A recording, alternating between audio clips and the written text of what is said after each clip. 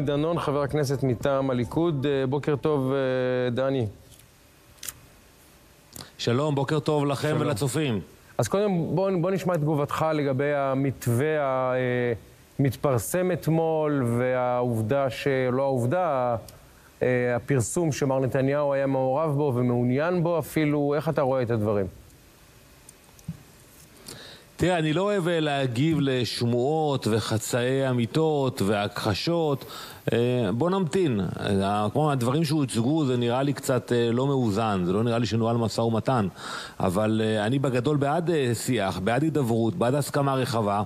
ואני בניגוד ללפיד שעכשיו נמצא בארצות הברית וישר מוציא הודעה של לא, דובון לא לא, לא לכל דבר, לא נסכים לשום דבר.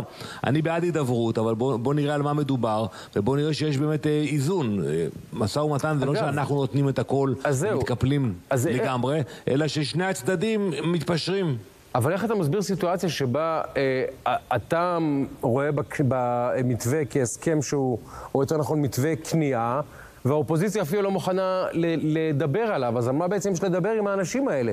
אם אפילו מתווה שאתה אומר מבחינתי הוא מתווה שכולו הפסד, האופוזיציה לא מקבלת, אז איזה, איזה נקודת התחלה אפילו יש לשיחה עם האנשים בצד השני? תראה, אני למדתי שהאופוזיציה זה לא מקשה אחת, ויכול להיות שיש פה ניסיון של הנשיא לדבר לחלקים באופוזיציה, בעיקר לגנץ, כי לפיד זה מקרה אבוד, הוא רוצה את המחלוקת, הוא רוצה את האלימות, הוא רוצה את הכאוס, הוא, הוא נבנה מזה. זה הקמפיין שלו, ולכן בלי קשר למה שאנחנו נסכים או לא נסכים, הוא יגיד לא. אני לא יודע אם זה יצליח או, או לא, אבל כנראה שהנשיא מכוון לכך שאולי יהיו חלקים שונים באופוזיציה שיסכימו לנהל משא ומתן על בסיס הרעיונות האלו. אבל אני חייבת לשאול אותך, חברי כנסת מתוך המחנה שלך אומרים שבעצם לא תתבצע חקיקה ממה ינפשך בשנה וחצי הקרובים, אז על איזה מתווה ולמה כל כך דחוף לנו לעשות מתווה כאשר אנחנו יודעים שהחקיקה בכל מקרה נעצרה? תראה, אנחנו הולכים לעימות, כפי שזה נראה, לעימות מתגבר. יש כרגע לחץ תקשורתי על בית המשפט לפסול חוק יסוד בפעם הראשונה. אנחנו לא נשב בחיבוק ידיים ונגיד איזה יופי, הכל גן עדן. אנחנו נגיב, נגיב בחקיקה חדשה, ויהיה פה איזשהו משבר, משבר חוקתי. לפי דעתי זה היה רצון של הנשיא למנוע את המצב הזה, ולכן הוא כן מנסה להוביל לאיזושהי הסכמה. אבל זה לא קל. זה לא קל כי, כמו שאמרתי, יש פשוט ציבור של חלקים באופוזיציה שהתאהב, אין מילה אחרת, התאהב במחאה, התאהב בעימות, ולא משנה מה אנחנו נסכים או לא נסכים, הם לא יהיו שם. כן, גם עושה רושם שהקיצונים במחנה מהלכים שם אימים על האנשים האולי מתונים יותר, אם יש כאלה. אני רוצה אבל ברשותך נושא אחר. אתמול בכנס הליכוד ברעננה, תמונות מאוד מאוד קשות, אירוע ש...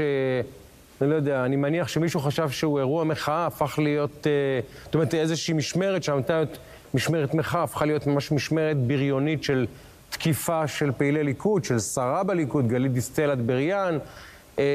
גם מה תגובתך וגם מה עושים?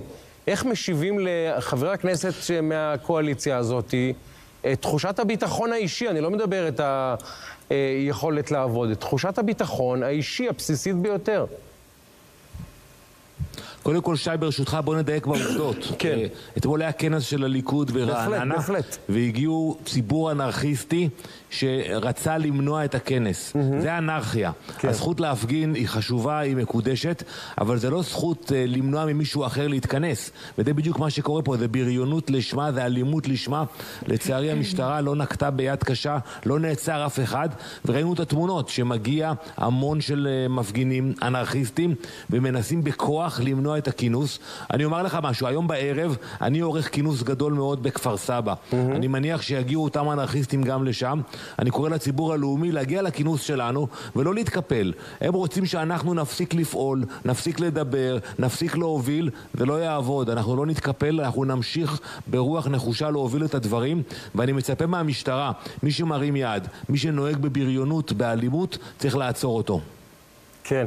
בואו נדבר על האירועים בדרום תל אביב, על היכולת של הממשלה לייצר באמת מהלך זריז שיעצור את הקטסטרופה, כי עושה רושם שגם כאן הוצאנו שד מהבקבוק, ואלוהים יודע איך זה יסתיים.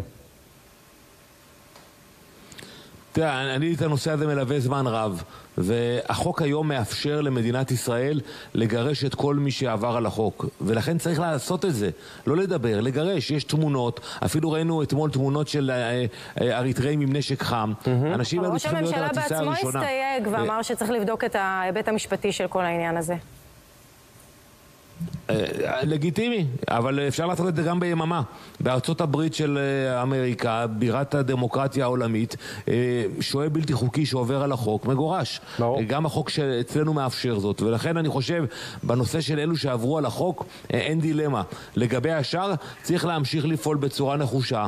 אנחנו קצת אולי השארנו את זה בצד, אבל את האלימות שראינו בשבת, תושבי דרום תל אביב חווים יום-יום, שעה-שעה, ולכן צריך לטפל בסוגיה הזאת. אה, בוא נגיד מילים על ה... כמה מילים על הספר שלך, שהגיע לשולחני לפני מספר ימים, בגובה האריות. מסכם את הפעילות שלך בחזית הדיפלומטית באו"ם. קודם כל, כמו שאני מכיר אותך אלו שנים שי, אני יודע שאתה תקרא את הספר בהחלט, גם. בהחלט, בהחלט. Uh, הספר באמת מסק, מסכם uh, חמש שנים אינטנסיביות uh, באו"ם. ואני חושף את המאחורי הקלעים, מה בדיוק קרה עם הנשיא אובמה, למה הוא העביר החלטה נגד ישראל ברגע האחרון, את היחסים המורכבים עם טראמפ, עליות, ירידות, אכזבות, ובאמת כל מי שמתעניין בדיפלומטיה, בפוליטיקה, אני חושב ייהנה מהספר הזה. אני מאוד ניסיתי גם לחשוף ברמה האישית את הרגשות, את ה... איך הדברים עובדים. קח לדוגמה את הסכמי אברהם. כשאני טסתי לדובאי ב-2016, זו הייתה אופרציה רצינית מאוד. אה, לקחו אותי מהמטוס, שאף אחד לא יראה אותי. הכל נעשה בחשאיות. היום אתה מסתכל, יש לך 20 טיסות ביום אה, בין אה, נתב"ג לדובאי.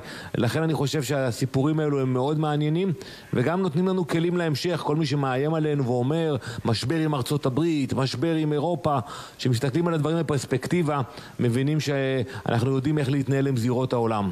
אגב, אז ממש לסיכום, אה, היית ב... אתה יודע...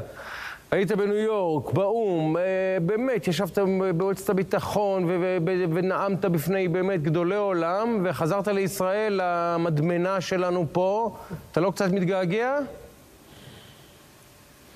את האמת אה, שלא. אה, אני כבר, אתה יודע, 30 שנה בשירות הציבורי בתפקידים שונים, משרת את עם ישראל, את מדינת ישראל. אה, חמש שנים זה תקופה ארוכה מאוד, וגם היום פה אני עושה עבודה חשובה, משתמש בניסיון הבינלאומי, וגם עוסק בקטע של דיפלומטיה מתפקידי היום כיושב ראש הליכוד העולמי. יפה, יפה. חבר הכנסת דני דנון ומחבר הספר בגובה האריות, תודה רבה ויום טוב שיהיה. תודה רבה, יום טוב.